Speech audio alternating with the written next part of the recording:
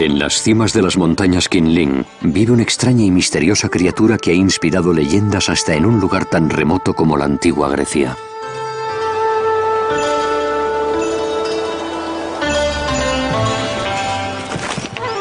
Con el tamaño de un búfalo y un temperamento sin par, este fue el propietario original del vellocino de oro, el taquín de Mismi.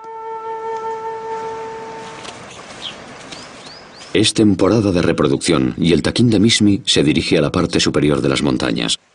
Los machos tendrán la oportunidad de poner a prueba su valor.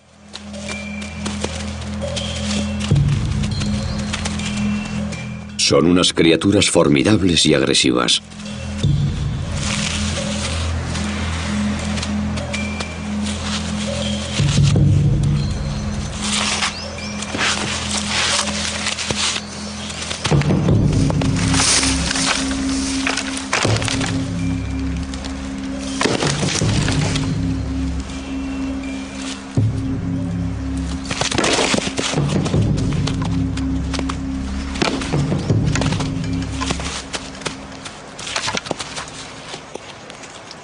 Una vez victorioso, este macho podrá tener acceso a las hembras.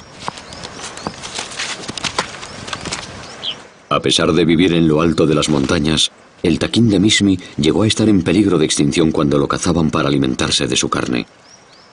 Volviendo a las leyes de la antigua China, el gobierno ha prohibido la caza furtiva y el taquín se haya protegido oficialmente.